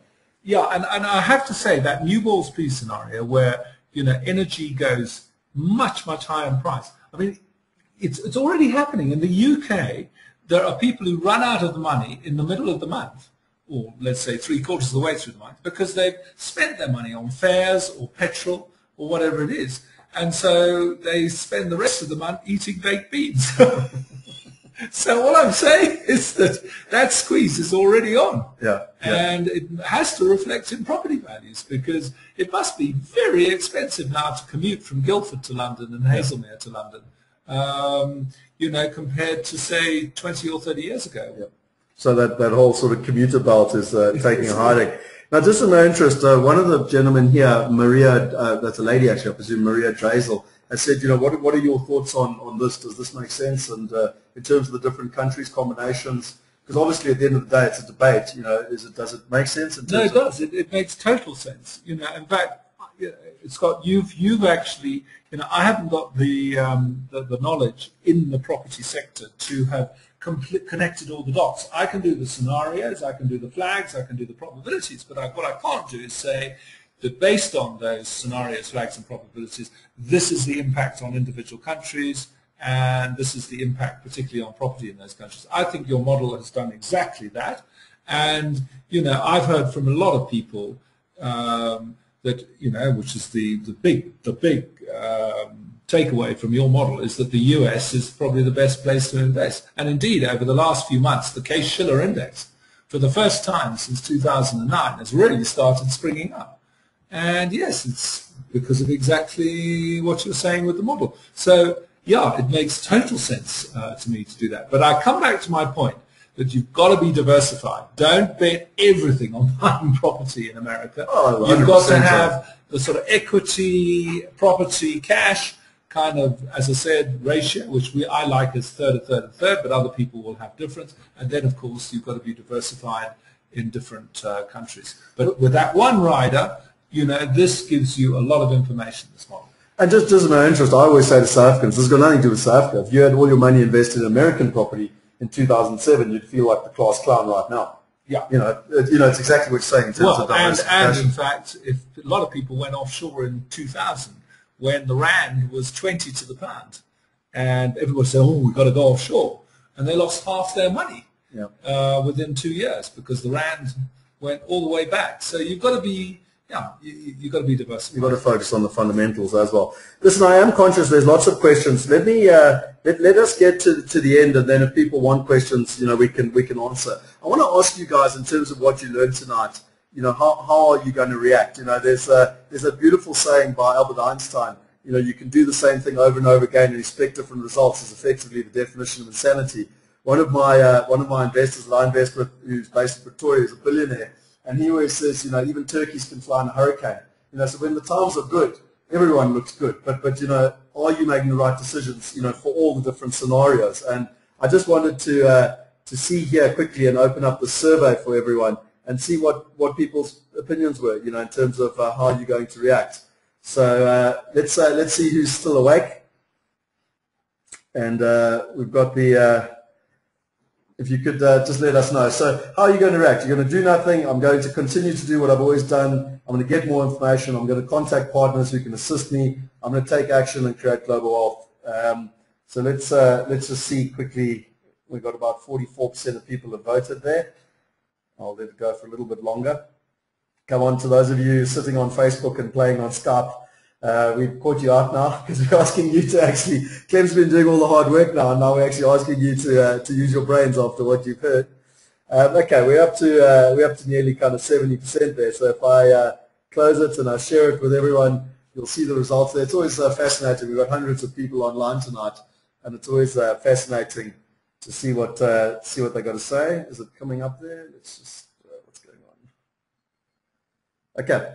So 1% of people say they're going to do nothing, 9% say they're going to continue doing what they're doing, 30% want more information, 22% want to contact partners who can assist them, and uh, 38% you know, want to, want to take some action in terms of where they are. So that's, that's very interesting. It's uh, one thing that I've, I've certainly found over my experience is that this is a very rudimentary graph, but uh, what we're tending to find, particularly in the first world countries, is that the the, the, the, property prices are going up if you take a, a, country you know like the US and unfortunately our, our rand is, is devaluing. And so unfortunately our gap is, is getting you know harder you know in terms of in terms of the gap. And that's what uh, we're talking about in terms of managing it. Just from just from our side just to give you a little bit of an overview we've helped over 2,000 people invest internationally to a value of over 1.6 we do focus on international property. We've got offices in South Africa Australia the UK and the USA um, I think the most important thing is that we spend millions on research every year. I've just returned from America, another quarter of a million trip. My, my colleague Kristen was in Australia now. Um, so a lot of the stuff you were talking about, Clem, you know, is based on first-hand experience and, and what's happening in these markets. We pride ourselves on finding the best of breed partners on the ground. We've got a sophisticated IT platform to actually help people understand, you know, because I always say buying a property is 20%, 80% is actually managing it, maintaining it, etc., etc. We've got an experienced after-sales division to help you manage the whole process. We've got access to off-market opportunities, which, which most people know that you make money when you buy. And one thing that I think is pretty important is that uh, we all know our state agent affairs board isn't a hell of a competence, uh, but there is a there's an organisation run out of London called the AIPP, which is the Association of International Property Professionals. And we were the first South African company to become a member of that. And I'm also CRS qualified, which is the highest uh, qualification you can get in America in, in, terms of in terms of property. So, just in, terms of where we are, in terms of uh, what next, what I would uh, suggest is uh, I know you've got a whole uh, trilogy of books now. I bought the whole trilogy, but the, the first one that came out was The Mind of the Fox. But um, I would suggest people go for the Fox trilogy because it's the same price as The Mind of a Fox. And okay. then you get the two subsequent books, Games, Foxes Play, and Socrates and the Fox. So yeah, I mean, look, a lot of the um, stuff you've, you've heard tonight, but if you want to go deeper, it's, it's all there in terms of the, the books and the trilogies. I'm also putting a, a, book together which will be available in March, which is based on the, the technology and stuff that you've seen tonight. And I, I've always had a belief and a, and a passion for this whole property going global and not just having all my eggs in one basket. And, and what I wanted to do was very much create, for those of you who have read a book like Rich Dad, Poor Dad or The 4-Hour Work Week, it's a practical guide. It's not a, a university lecturer kind of telling you, you know, what to do. For, uh, for, the, for, the, for others of you, if you want to get hold of us, you know, contact us and we can take you through it. I wanted to show you some pictures, uh, Clem, when I last saw you. We've been taking people over to the US. I, I quite enjoy entertaining people, and uh, these are just some pictures. This was a trip we got back last week. Um, it was minus 10 degrees in New York, so there were 10 of us, 10 investors. You can actually see there in New York with the Empire State. Um, and we went, we were showing them opportunities there, very much based on what you just said. Um, close to tube stations, close to the World Trade Center. You know, they're building five towers now where the, where the Twin Towers went down and the, and the opportunities are there. This is actually Dr. Dolf de Roos, for those of you who recognize.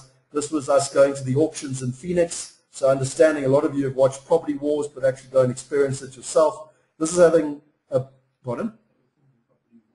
Yeah, no, they were they were filming Pretty War, Property Wars while we were actually there. This is just some fun with us uh, and Brendan, myself, and some clients. We took a helicopter into the Grand Canyon and uh, had a bit of a toast down the bottom, so it's not all hard work.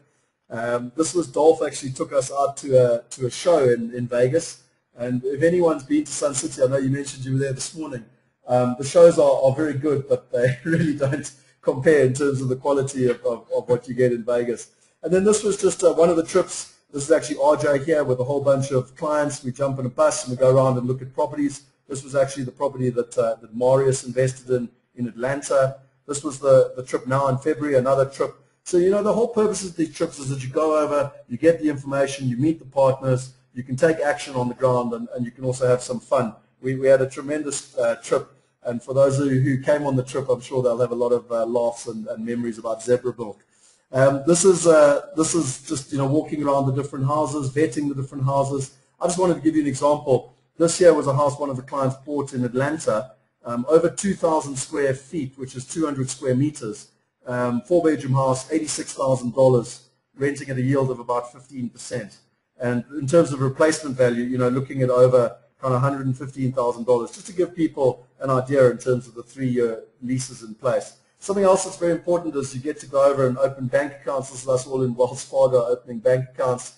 And then what I think is the most important part is the partners on the ground. You know, you can get on an airplane, you can fly to Germany, Australia, England, America, it doesn't matter. In a week, if you honestly think you're going to achieve something, just ask yourself a question. If a POM came to South Africa, arrived in Joburg and expected to buy a good deal in a week, do you think it would be possible, Tim? Um, no, uh, not, certainly in the UK. But in America, yeah, you can, you can absolutely buy property. You know, I, I personally think that, you know, having seen what you're doing here, um, because a lot of people feel uncertain if they don't actually see the property they're buying. So yeah. I think these trips are... Well, that, you know, that's the beauty. You can come over, you can touch it. Yeah, this is exactly. one of our partners giving a presentation on the market yeah. and what's happening. I mean, he personally has been in the market 35 years, owns exactly. 350 properties. I always say to people, You know, you can go to Atlanta, you can spend six months there, you'll never know what, what, what they know. This is one of the dinners we do where you meet the accountant, the lawyer, the management agent, you know, because it's not just about the property, it's, it's the whole team. You know, who's going to manage it, who's going to be your accountant, your lawyer, the guy that does the inspection reports, this is another dinner. Every area we do different dinners, so you meet the the whole team. And then we have some fun. This is, I don't know if you've ever been to Beale Street in Memphis, no. but uh, it's where Elvis is from, and uh, we, we take uh, take everyone out and, and, have a bit of fun. This was actually my birthday party in uh, in Atlanta, um, and this guy on the left here gave us some real uh, sort of southern uh, cooking. It was it was a really fun night in terms of where we were. And then just as a laugh, this was actually Halloween last year, and a whole bunch of clients dressed up. So as I said, it's it's not all hard work. And then lastly, I just wanted to tell you this. This is one of uh, one of our clients, Ian. He's just seen this house now. He bought this uh, three months ago. It's already gone up about 20 to 25 percent in value, and the rand has, has devalued about 15 percent at that time. You know, so he's over the moon. He went along, you know, great quality renovation. He met the tenant. It was rented in, in less than six weeks, and they're on a three-year lease. And uh, this is just an example of, of people that are actually, you know, getting the results. And if you want to see testimonials there's plenty on, on YouTube in terms of clients. Just go to USA Buyers Trip. And, and interesting enough, about um, 70% of people are like you, Clem. They're too busy and they can't come. And so we actually help about 70% of clients, you know, while we are the ears and eyes on, on the ground in terms of where we are. Now, the last thing that I'm excited and I just wanted to tell everyone about is that for me, it's all about the partners. You know, South Africans love to meet people. They like to shake their hand. They like to understand, you know, whether they can trust someone. It's that whole fair your hood and your SCADA.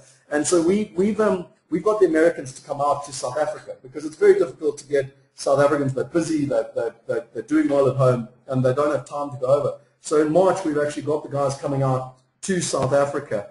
And just to let people know what they can actually achieve out of it, they can meet the best of breed partners, they can sit in investment consultations one-on-one, they can see the type of properties that are available, they can get the latest information research. We'll be doing a whole lot of presentations in terms of the market, um, and, and the most important thing is you've got everyone under one roof. There'll be lawyers, accountants, immigration agents, currency brokers, the bank. We're actually talking to Wells Fargo at the moment about coming out. The, uh, the book that I'm writing, Property Going Global, we're going to give that away um, as, a, as a gift to everyone that comes to the event.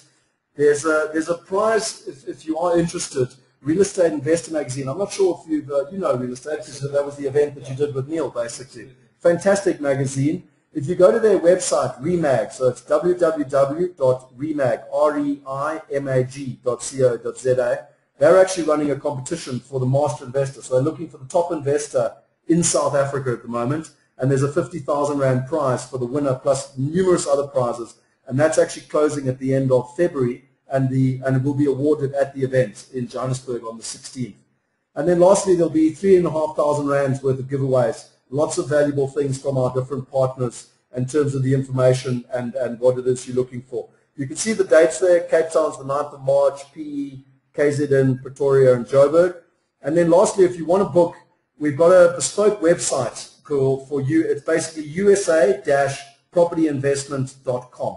And uh, very important uh, for you just to make sure that you get that right. It is the .com, and let me just uh, pull it up here.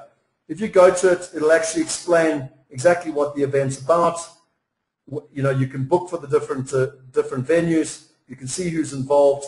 We've got the agenda there, and then most importantly, you know, why you shouldn't miss the event. Pardon? Oh, just in terms of the, um, there's a hundred rand uh, fee in terms of turning up. It's purely just to, to, to kind of pay for the coffees and the everything else. But the most important thing here is that we want you to be able to come and actually meet the partners on the ground. Whether you agree with what Clem and I are saying, whether you agree with what I've said in terms of a model, that's irrelevant. Come and make your, your own decisions in terms of uh, in terms of the, the different things. Now, I wanted to, to finish off, Clem, and I'm very conscious of time and I know that you're probably starving um, in terms of uh, in terms of dinner. But um, just just a couple of questions. Someone's asked, uh, what what do you think of Brazil versus uh, you know Brazil, Argentina, Uruguay, and South America? Well, I mean, I, I, think if you're going to go into South America, Brazil is and Chile are the two countries that you you should be looking at. Brazil and Chile, basically. Brazil and Chile, yeah, because they, they, they, their economies have actually performed very well. Chile, particularly, has performed well um, over the last 10 years. Brazil is seen as one of the BRICS, uh, but I have to say Brazil recently you know, has been showing some fairly disappointing uh, figures in terms of growth. But yeah, Brazil and, and Chile are the two. I'm not sure if you understand this question. I'm, I'm not. It says any significant influence with the new A, Agang party starting up to these scenarios. Yeah, look, uh, Mamphela Ramphele started uh, her own platform. She's very careful not to call it a party, and she's a she's a very uh, very intelligent and influential lady. So I, I'm I, I'm hoping that she can change the debate. And one of her big things um, is that we we really have to move beyond now sort of black economic empowerment where you still have racial divisions in this country. You've got to look at giving everybody an equal opportunity by improving the education system. You've got to make politicians accountable by having constituency-based politics. And generally speaking, um, you've got to sort of really uh, fulfill Steve Biko's vision, which was you've got to do it for yourself rather than um, expecting handouts. So I think she's very refreshing, and it'll be interesting to see, you know, where she goes. We are, we are running out of time, but just one or two more questions, if you don't mind. Someone, uh, Hilton, asked uh, what what, he, what is the direction of the JSE in your opinion? Well, I mean, the JSE has done fantastically well, and obviously tied to the global economy. And in a sense, um, you know, given our probabilities, um, if there's any kind of weakness in the global economy, given that foreign investors are are looking at South Africa and worrying about things like uh, what's going on in, on our platinum mines. You know, we we we, we, could have a, a, major bump if it's one of the nasty uh, nastier scenarios. Uh, you know, in, in, terms of you know, hard times means the markets are going to fluctuate. We could just fluctuate a little bit more uh, than other markets uh, because of the additional political risks. And the very last question, Zimbabwe. There's someone listening in Zimbabwe. Yeah, Zimbabwe, and, uh, no, Zimbabwe is uh, looking up. I mean, interestingly, Chantell Ilbury and I did a, a two-day strategy workshop with ZANU PF. Uh, we didn't fly up to Zim. They came down to South Africa, and we had a two-day session in Johannesburg. And it's clear that they've got some very good thinking in the party. We had three scenarios, grounded, which they're in, takeoff, and flying high. And we went through the conditions of takeoff and many of those conditions are being met. Having said that, it absolutely makes me grieve that uh, there's still property being taken, uh, such as the Zimplats uh, property recently, which undermines Zimbabwe as an investment destination if the government continue to do that. But there's no doubt that uh, Zimbabwe is in a recovery mode. Perfect. Well, listen, I, I, really want to thank you this evening. It's been a, a real honor and a privilege for those of you who have read the book the four-hour work week, it's uh, had a massive impact on my life and the fact that we can sit here and talk to so many people in so many different countries at home. And uh, for those of you who haven't seen, I've, I've given Clem that book as a, as a gift from us yeah. to, to thank him for his time because I, I really think there's so many people out there and the more they can understand the different scenarios, the more they can make educated decisions. And so thank you for your time. Yeah, look, it was, it was brilliant tonight. I just have to say, you can go, to, you don't have to buy the book. You can go to a website, mindofafox.com. In America, if you go on that visit to America, if you Google the words mind and fox, we are number one. Um, in fact, we're one of the most popular websites in America right now uh, for, for you know, on strategy. Uh, number two, if you Google Mind and Fox, is Megan Fox, and number three is Fox News. So we feel very chuffed that uh, you know our ideas care of the internet, where Americans are one click away from our ideas, as are South Africans. That uh, because we got showcased on a website in Ohio last year by a risk consultancy as the best way to discuss risk that they come across in the world, uh, that uh, you know, what I've been talking to you about, scenarios, flags, and probabilities, is becoming a kind of universal methodology. Let's just uh, let's just go to that website quickly so people know exactly where that is. So it's mindofafox.com. Yeah. Have you said? Or just just I, I, just want to pull it up quickly. So we've got www. Dot, sorry, I'm bad. Mindofafox.com. Mind of a fox. Fox. Dot com. Cool. And yes, you should see a kind of parchment paper, and it's called the official. Yeah. Well, there you go. At least it's come on. Typed it in wrong. But uh, let's just go back. We can Oh, go. there you go. There it is. That's Yeah. it. Mindofafox.com. So there's the there's the home page. And so there's all the things on the left. And if you want to see the latest scenarios, you just click in on the left-hand side. So I mean that's incredibly valuable. You know, you, I think the most important thing that we wanted to get across tonight is that the scenarios stay the same, but the flags is what you've got to Yeah. watch, and, you can. and, and the scenarios ultimately change. You know, you, nothing stays the same all the time.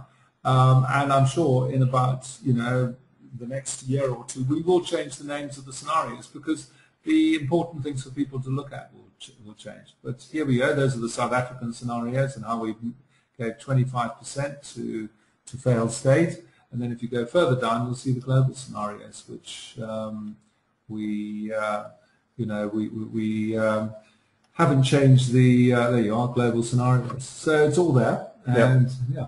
No, that's fantastic. Well, listen, it's been a real honor and a privilege. We, we really thank you for your time. Hopefully there's, there's plenty of comments coming through here and for everyone, I'm, I'm not going to read them, but there's plenty of people saying thanks for your time and, and I really appreciate all the information and, uh, you know, thanks for showing us the website as well so people can go to it. So from everyone here, we, we want to say thank you. For those of you who haven't answered questions, we'll, we'll make sure we get back to you. But obviously, uh, it is late in the evening here on, uh, on a South African night and Clem wants to get and have his dinner. so And I'll, I'll leave you with a benediction for everybody who stayed to the end. May the fox be with you. Cool, Clem. It's been an honor and a privilege. Thank you very much. Cheers. Good night.